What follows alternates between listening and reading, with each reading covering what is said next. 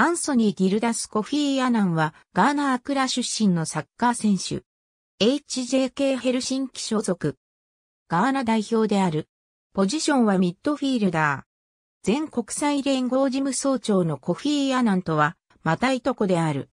2003年にガーナのセコンディハサーカス FC でプロキャリアをスタートさせ、2005年にアクラハーツオブオークに移籍した。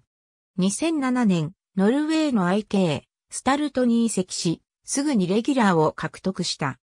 しかし2007年シーズンの前半戦は、怪我に悩まされ監督の信頼を得ることはできなかった。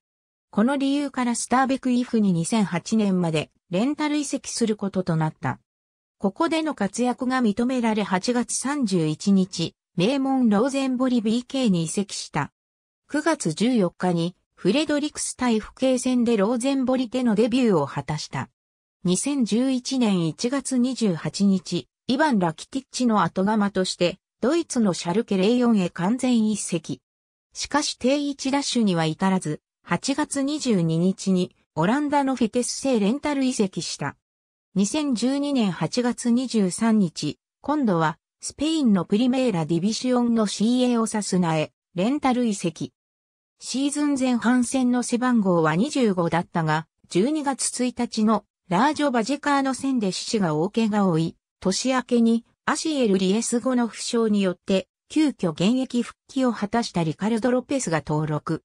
リカルドは原則スペインでの GK 専用背番号の25をつけることとなったために、死死の登録が抹消され、背番号11に変更となった。